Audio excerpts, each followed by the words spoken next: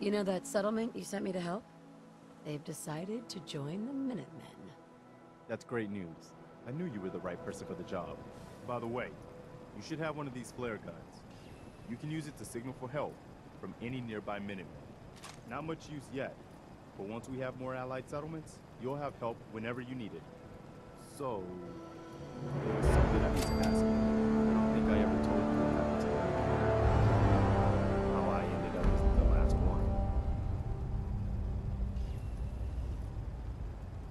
you really the last Minuteman? Maybe not literally. There must be a lot of former Minutemen out there who gave it up in disgust after the Quincy massacre. But we were the last active group of Minutemen. And now, well, it's just me. What was the Quincy massacre? I thought everyone in the Commonwealth knew about that by now. I was with Colonel Hollis's group. A mercenary group called the Gunners was attacking Quincy. The people there called for the Minutemen to help. We were the only ones that came. The other groups, they just turned their backs on us and the folks in Quincy. Only a few of us got out alive. Colonel Hollis was dead, so I ended up in charge of the survivors. We never found a safe place to settle. One disaster after another. You saw how it ended in Concord?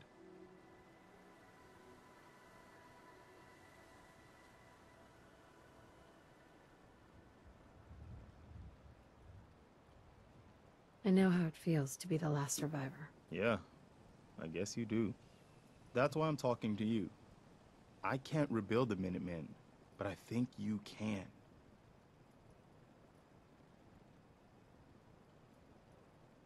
Why can't you lead the Minutemen? That's not who I am.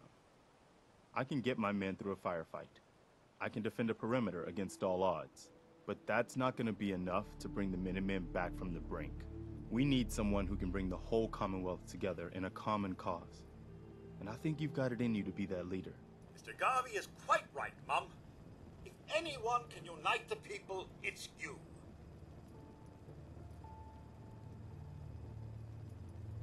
What makes you think I can do this? You saved us in Concord. There wasn't anything in it for you. You had your own problems to deal with, but you did it anyway. That kind of selflessness has been in mighty short supply around here for quite a while. Can you explain what the Minutemen are all about? We're citizen soldiers. The people of the Commonwealth banding together to protect ourselves and decide our own future. That was the original idea, and it was a good one. The Minutemen fell apart because our leaders forgot what we were supposed to stand for. I think you're the one who can bring the Minutemen back, and bring the whole Commonwealth together. Okay. I'll do it. That's the spirit, Mum.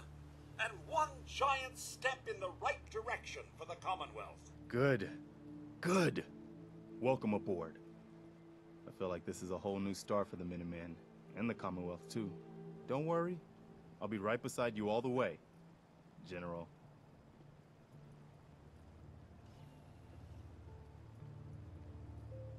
Why are you calling me General? The leader of the Minutemen has always held the rank of General. Our last leader was General Becker.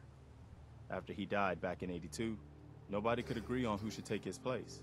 The one good thing about being the last Minuteman is, there's no one to argue with me when I say you're the new General. Now it's your job to make it more than an empty title. I've gotten word about a settlement that's being threatened by raiders.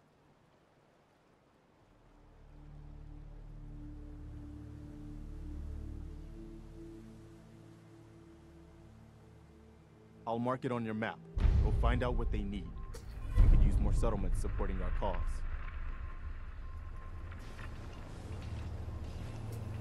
Mum, a moment perhaps?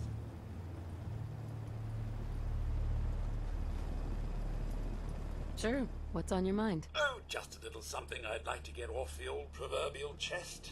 I, I just want to say what an honor it is for me to accompany you.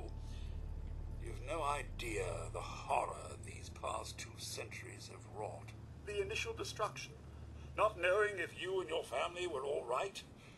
It was a relief just to find the entrance intact.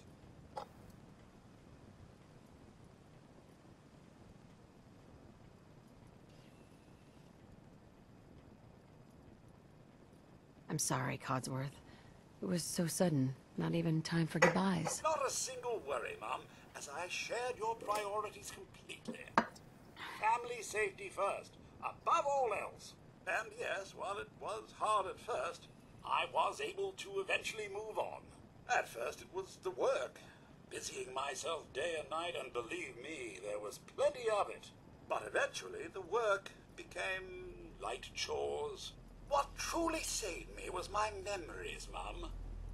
Memories of you and the hubby, young Shaun.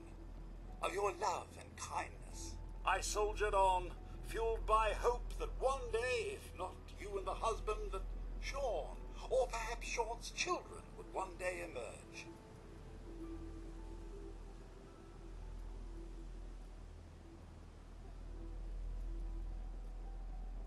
Sorry it took so long. I only wish we could have all gotten out.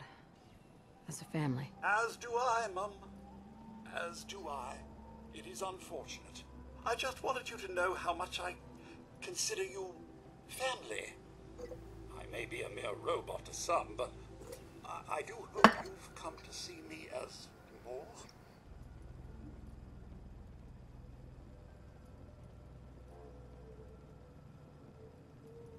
I consider you to be family too, Codsworth. We're in this world for the long haul. Together. Mum, you don't know how wonderful it is for me to hear that.